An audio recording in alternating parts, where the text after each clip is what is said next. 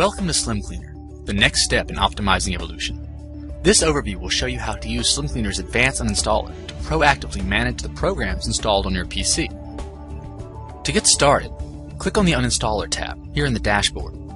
Removing unneeded programs not only frees up disk space, but gives you the opportunity to weed out applications that could be a drain on your system.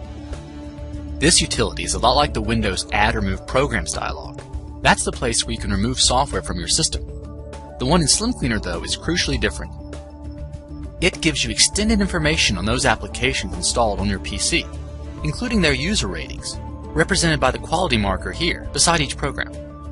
These markers let you know what other users think of that software. To quickly isolate those programs that you may want to remove, use the chromatic filter up here.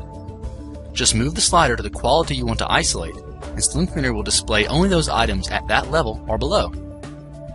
Using Slim Cleaner to manage your programs now makes you an instant expert.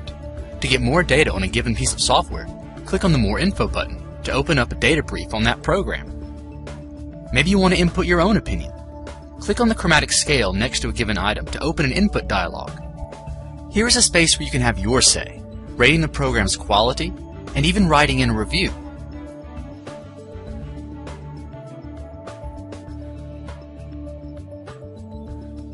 When you click Save, you add your opinion to our ever-expanding data center, where it will become available to all of our users. Once you're ready to remove an item, select it by clicking on it. Then just click on Uninstall. The notice recaps the program's rating and description.